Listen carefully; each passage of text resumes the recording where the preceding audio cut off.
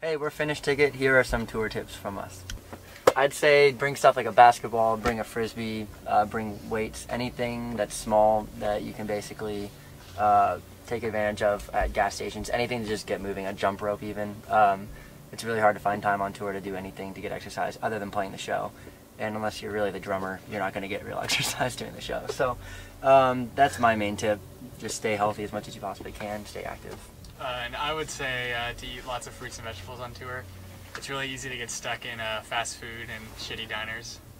So try to be healthy. Uh, and I would say show up on time to the venue and everywhere in general on tour, because the second anyone falls behind, everyone else gets slower and it's a mess. Um, I would say you should try and bring as many pairs of socks and underwear as you can because you know you can reuse the same pants and shirts for days on end, but you don't want to do that with your socks and your underwear. Um, and you know, the longer you can go without doing laundry, the better.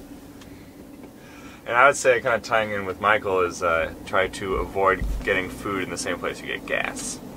Just a, It's a major. Yeah. an easy, easy way to, to avoid terrible, terrible, only food legally speaking, not really, Yeah. Like nutritionally.